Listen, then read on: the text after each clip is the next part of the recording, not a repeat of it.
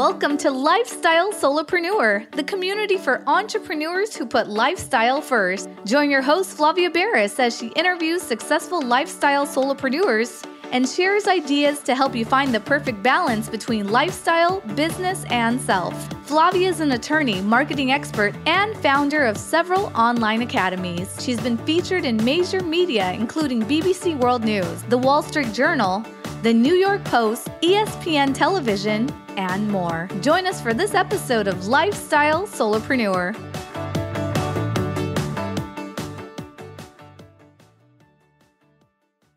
Hey, lifestyle Solopreneurs. Today we get to speak with Justin Moy. He is the managing partner at Realm Investors, a multifamily syndication group that helps people passively invest in apartment buildings. And he also has his own podcast. It is the Passive Real Estate Strategies Podcast. Welcome to the show, Justin. Flavia, thank you so much for having me. I'm excited to be on. Super excited to have you. I'm big on real estate. Not obviously, not all of our guests are in the real estate world, but a fair number are. And I think that's because the idea of lifestyle business and work life balance really mm-hmm. plays into what a lot of people who invest in real estate believe in because there's definitely ways to diversify into real estate that do not require your full time participation and your full time bandwidth. And so tell us a little bit about Realm Investors and what multifamily syndication means, because not everybody listening automatically yeah. understands when they hear the word multifamily and they hear the word syndication. Uh, not everyone knows what that means. So fill us yeah. in. No, I love it. And, um, you know, if anybody who's not in this space knew what that mean up front, it'd be pretty impressive. It's uh, more of a niche method of investing. And so Realm Investors is a multifamily syndication group. So what that means is multifamily is the niche that we invest in. A simple term for that is apartment buildings. There's other forms of multifamily. You have like mobile home parks, you have built to rent communities. Those are all fantastic, but we just focus on apartment buildings. Um, and syndication is a term used to describe pulling together resources to accomplish essentially one massive goal. So if you think about this way, you're driving down the street, you see a big apartment building. Well, you know, let's say that apartment building is $10 million. Okay, well, for you to come up with a down payment and closing costs for a $10 million property, you might have to come up with three to four million bucks. Now, while some people do have three to four million bucks to invest in properties, not a lot do. And so what we do is we say, we purchase those properties and we go to our investors and we say, hey, investors, we're purchasing a $10 million apartment building. We need $3 million to complete this purchase. We're going to sell off equity in small chunks, 10, 20, $50,000 chunks, whatever the case is for that specific property. And in exchange for your money, you get passive equity in the property. It's 100% passive. There's no work required or no time required in it. And it's a fantastic way for people to diversify into these assets that are extremely sophisticated, but not have to be extraordinarily sophisticated investors themselves to take advantage. So that's kind of breaking down what an apartment syndication is and really what our group does. Before everyone gets excited and says, I am going to do exactly that, there's a great building down the street from me. It's $10 million. And it just never occurred to me to help gather up some friends, family, yeah. you know, coworkers, people. And why don't we all just pitch in 50 grand and we'll make it happen? Because this area is also extremely regulated. So go a little bit into that before anybody just hits the pause button and runs off and commits some crimes inadvertently. Yeah, so th- I mean, there's a, a, whole separate legality. So once you step into the commercial real estate space in general, a lot of the nuts and bolts of the investing change. So a lot of legalities to it. If you were to invest in a single family home, even if you did a syndication style where you take friends and family, you kind of buy a property together, there's not the scale of raising money that you have to deal with from both a lending perspective from the banks and a legal perspective. Legal fees for these acquisitions can be tens of thousands of dollars, depending on how sophisticated and how um, what you're buying could be even more than that. Also, the bank fees are pretty substantial. Now, to qualify for commercial loans, there's different qualifications. You cannot be even just a wealthy person and qualify for these loans. You have to have certain check boxes, meaning experience in the buildings, experience in managing this type of assets and these types of areas with these types of tenants. So there's a lot more checks and balances from both a lending perspective and a legal perspective. When you are bringing together money in a formal sense, there's also security and exchange commission obstacles that you can run into. So you definitely have to keep a clean slate. You have to have enormous legal counsel, which is what we do. We have a, you know lots of legal counsel on our team to make sure that us and our investors are clean on that aspect. Um, but yeah, there's a lot of legal challenges and lending challenges that the average kind of retail investor would run into without a group that they're partnering with, which is why uh, you know a lot of us a big value that a lot of these groups kind of bring as well. And it's interesting because syndications fill this kind of gap because there's these big, giant mega corporations or REITs, uh, which is a real estate investment trust, which is sort of like think of it as this giant company that everyone buys publicly shares in, kind of like you'd buy shares of Apple. You can also buy shares of a real estate investment trust. But this, you feel kind of a, a niche within a niche, right? Because for a $10 million apartment building, there may not be a lot of huge corporate type institutional portfolio owners that want that particular building. Or maybe if the building needs renovations or needs some kind of value add things done to it or yeah. maybe it's just a distressed property in some other way because the the current owners have let it go. But you know you can be pretty nimble right? Yeah so i love what you said like a niche within a niche because there are so many ways to invest in real estate in general and then there's so many ways to kind of tackle the same problem which could be unquality housing. So we love to see those buildings that maybe are a little bit forgotten where the owners are a little bit off and the tenants are really unhappy and we like to purchase those buildings, inject our money, our expertise, and our ability to run very efficient buildings, and then make those tenants happy or get tenants in there that, that will be happy with the building. So you you so the buyers for these types of things, they can be those large institutions. But here's the thing about syndications too is even if you're that investor out there, you're listing and you're saying, well, you know, I have three million bucks to invest. I would love to buy a $10 million building. There's also a diversification for it as well. So if you if you have you know even seven figures of money to invest, it's uncommon for those investors to really dive in all that cash into one thing, whether it's a one REIT or one building or one asset type. They would like to diversify that as best they can. So even if you can break that up into smaller chunks across many properties, that serves that function as well. Another thing about REITs specifically is there are public REITs, which are exactly what you explained. You can buy them in an instant. You, they're they're publicly traded. You buy them at certain shares, you sell them at certain shares. Then there's also private REITs, which are, are less liquid. They're private investments, but because they're private, they also have the tax benefits of actually investing in real estate, as opposed to you are more taking the benefits and the the pros and the cons of the stock market when investing in public REITs. So yeah, there's so many niches out there, which is why I love doing shows like this because unless you're really in this game, it could be overwhelming to understand like what's out there, what's available, and what might be best for you.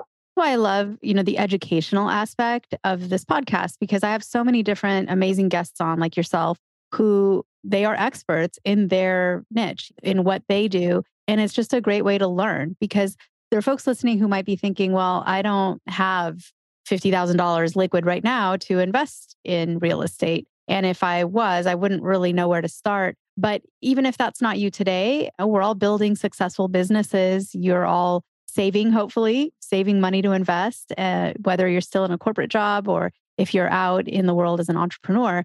And at some point, you're going to have cash that's sitting there and you're going to go to a financial planner. And again, we're not giving financial advice on this podcast. So check with your financial planner. You should have a financial planner. And that planner may tell you uh, this cash that's sitting there because of inflation, it is actually losing value every day. If it's yeah. just sitting in a checking account, we got to do something with this cash. Here are all your different options. And here's what I suggest, right? As a financial planner, they will give you a recommendation. A lot of financial planners are not trained in real estate. So they see the world through whatever their training has been. And for a lot of them, especially if they work for an investment firm itself rather than being independent, they will say, okay, let's just use it to buy more stocks and bonds and mutual funds. And oh, yeah. if you want to be in real estate, you should do this like publicly traded REIT and buy a few shares of that. And they're not usually focused, in my experience, I could be wrong. I'm not, I don't want to generalize too much, but in my experience, they're not really looking at this kind of investment, which sometimes does have a higher return. It's riskier, but it may have a higher return than others. So, again, we're not giving advice on this podcast. I just want everyone listening who has some money to invest to really look at all of your options and to speak to experts yeah. in all the different ways to diversify. Yeah, and, and I, you know, I love what you said because you should consult uh, professional advice. And that financial planner, if that's who you're using, at the end of the day, is a person just like everybody else.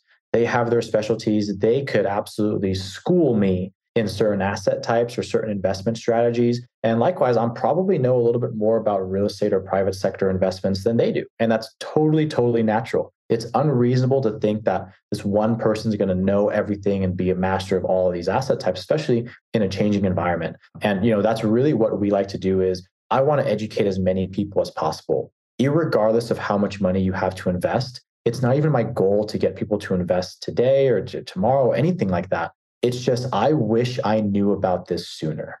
I wish I knew about this sooner. And I think everybody, when they invest, that's what you hear.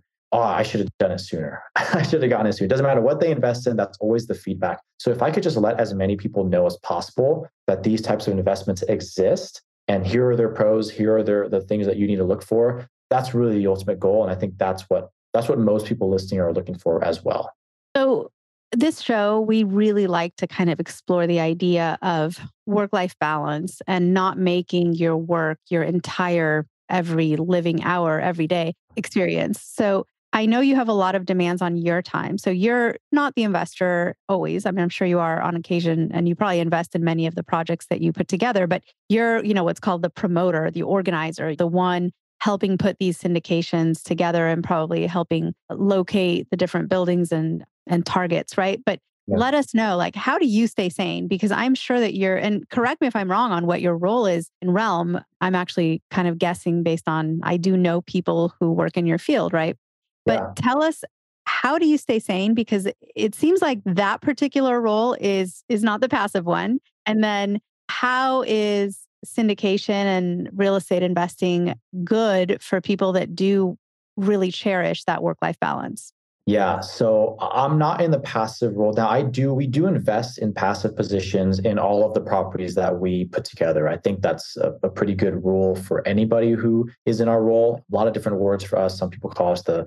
the sponsor. You had said promoter, the general partnership. You know, all of those are interchangeable. Essentially, the active people in the deal. So yes, we are looking for the properties. We're negotiating properties. We're doing the financial analysis, qualifying for lending you know, managing the business plan, managing sales and refinances, all those things. So it's not the passive role in in the position. Now I do have passive roles in both our company and other other syndications and other funds. So I do, you know, diversify myself as well. Now, how I keep myself sane is a couple things. First is to be very, very honest with you, Flavia, I love what I do. I truly love what I do. I've been an entrepreneur my whole life, my whole professional life. My father was an entrepreneur and really ingrained a lot of that in me. And I have a hustle culture kind of embedded in me. I love to work a lot and I love to feel very accomplished at the end of the day. And the difference is when I stepped into the syndication space, I finally, finally felt my soul was on fire here. Like I loved it every single time. And I never understood when people would say, Yeah, I love my work. I never really understood that till I got into here, but I truly, truly love this space. I love talking with investors day in and day out. I love helping people, you know, make intelligent investing decisions. And I never felt that with any other role. So my thing is finding this role and finding this niche was a huge help me because I was an entrepreneur and I was I could feel the burnout creeping up on me. I was a transactional entrepreneur. I was making great money, but I could feel the wear and tear on my my personal life and my friends and family. And I could feel that I was working at a pace that I couldn't keep up for very long. So, yes, first thing is I found something that just lit my soul on fire through this business. Second is, you know, always making time for me. I do hobbies that I pursue and I pursue them every day. I love competition martial arts. It kind of grounds me, it keeps me sane. I love reading and personal development and listening to podcasts. All of these are kind of escapes for me if I feel like I'm getting too stressed out or I feel like there's too much going on in my life right now those are all outlets that I absolutely love to dive into. And so those keep me really grounded and really balanced as well. And in terms of how syndications fit into people listening now and to that listener, you know, they are 100% passive positions. So if you are that busy professional, if you are that person who doesn't want to commit the time, energy, money, and mental resources to learning about real estate, investing in real estate, tackling large deals, they're totally passive positions. So once you do your due diligence on the operators and the properties that they're presenting you with, and you fund your portion of the deal, whatever you're comfortable with. You are passive, you're getting mailbox money and you're able to just grow that. You're getting mailbox money and you're able to grow that portfolio of yours. So, you know, a great syndication and a great syndication team should not be adding time commitments to your plate. So, there's people listening who are like, I have got 20,000, 50,000, 100,000, whatever it is, liquid. And I was going to buy some stocks, but maybe I should look into this and invest in real estate instead. Let me go find a syndication that's looking for investors. That's, mm. let's put a little let's put the yellow light on some of those folks and maybe even the red light and say, stop. Before sure. proceeding, you have to know that not all of the syndicators out there are skilled or knowledgeable or um, yes. have a track record. Or so, how yeah. does someone vet a syndication to make sure? And again, we're not giving advice here, and this is not uh, this is generalization because obviously we cannot we could spend probably two days talking about the nitty gritty and all the details and what you should do. But what's just kind of the square one on how to make sure that who you're dealing with is legitimate? Because i think there's also a lot of people out there who listen to stories like yours and they're like i'm going to be a syndicator. I'm going to you know have yeah. justin's role and they go out there and it's their first one and they may not really know what they're doing yeah, no, I, I totally agree. And so the biggest part of it is if this is something that you're thinking of doing, you want to spend majority of your time, in my opinion, a majority of your time doing due diligence on that operator, on the Justins out there on them as an individual, on their company. I also cover a lot of these topics in the show that I had mentioned, or that you had mentioned in the beginning, passive real estate strategies, where this is really everything that we cover. Um, I even have certain questions you want to ask your, your sponsors. I have certain things to look for. Track record matters. It's not the end all be all. You really want to go with somebody who's very open, very honest, very transparent, and is very open to showing you exactly what's happening, exactly what they're doing. Because at the end of the day, I don't care how great you are in this business. I don't care how long you've been investing in real estate. It doesn't matter what the market is. No investment goes 100% as planned. Now, there's due diligence that we do, and there's fail safes that we have, and there's steps that we take to mitigate those. But nobody can sit here and say that, yeah, every single thing, every single way that we plan it out goes according to plan. There's always going to be obstacles unforeseen that you need to overcome. I mean, COVID was a massive one. Nobody was able to foresee that. No matter how good you were in the space, no matter what you underwrote or what your financial analysis said, it threw a wrench in things. So you want to look for operators who can adapt. You want to look at operators who are going to be here to stay. You don't want to be that person who they try this out, they maybe buy a property, they decide after a year or two, man, this is a lot more work than I thought. You know, I thought real estate was passive. You know, this this is not passive. They should be a passive investor. You want to make sure that they have enough of a track record that you know that they're there to stay. And then the next step is to really get educated if they have podcasts like like mine, I have passive real estate strategies, listen to a few episodes. Do they seem like they know what they're talking about? Do they seem organized? Are they consistent with what they release? Because to me, that is that's something that's important to let me know that this, they treat this like a real business. A lot of times they'll have downloads. I have one you could check out. It's called the definitiveguidebook.com. It's called the definitive guide of passive real estate strategies at the definitiveguidebook.com, where I have all the education there my role should be one of educating, not really of pressuring into investment or to, to sell, you know, quote unquote investments. It's to educate potential investors. So absorb their materials, absorb the education, follow them on social media and, and podcasts, and then schedule a call with them, meet them face to face and see who they are, and then trust your gut. Your gut and you will pick up on certain items about people, uh, who they are on a personal level. And if you get a weird feeling from somebody, that feeling's probably telling you something and really follow those instincts. So you really want to follow a lot of those steps, get educated by them, see if you agree with a lot of things that they say, follow them on social medias or if they have podcasts, listen to what they're saying, and then book calls with them and get to know them face to face as a person. And then really decide from there if this is still something you want to do or somebody that you want to pursue this with. So, Justin, if someone wants to learn more about Realm Investors, that's your company, where would they go to connect with you and learn more about what you do? Yeah, so you can definitely connect with us. Our website is uh, realminvestor.com. You can see a lot of information about us. The best resource that I have is going to be called The Definitive Guide to Passive Real Estate Strategies. It's at thedefinitive.guidebook.com. And then you're going to see uh, more information about us, the team, about different real estate strategies that are completely passive. So syndication is one of them. There's a couple others that I outline in the book and, and all their kind of pros and cons and who best fits in those roles. And check out my podcasts. passive real estate strategies. So listen to more of different people, how they've invested, what their experience has been like, different questions you should ask operators, and really see if this is for you. But I'm very reachable. Just reach out again. I love talking about this stuff. It really does light my soul on fire. So never hesitate to, to check us out and reach out to me personally. Everyone, go check it out. If you want to become or learn more about becoming a Realm investor, then go to a realminvestor.com. Connect with Justin there, learn more about what he does. Justin, it's been amazing to have you on the show. I love talking about ways where business can be fully passive. Uh, there's so many different entrepreneurial paths that require varying levels of effort, but syndication and becoming a passive investor in real estate you do some research and diligence up front, but generally it is a passive ride. And that is just fantastic to offer to the audience as something to learn about. That's why I love this podcast. We like to be educational and we like to be inspirational. And Justin, you have been both. So thank you for being on the show today. Flavia, thank you so much. And of course, to the listeners, thank you so much for spending some time out of your day with us. Guess what, lifestyle solopreneurs? If you don't yet have an online business earning you enough passive income to live the life of your dreams, I'd like to suggest you consider trying out Kajabi. Kajabi is an all in one solution where you can create and teach online courses, publish a paid newsletter, launch a free or paid podcast, process payments, build one on one coaching portals for your clients, and much, much more. I personally use Kajabi to power numerous successful and profitable online businesses. Lifestyle solopreneurs, there's a free trial of Kajabi waiting for you at this link www.kfreetrial.com. You can try Kajabi for free, no obligation, by going to www.kfreetrial.com. Again, kfreetrial.com, and that K stands for Kajabi. Starting an online business helped me break free from that corporate grind, and I hope it does the same for you. You have nothing to lose and absolutely everything to gain.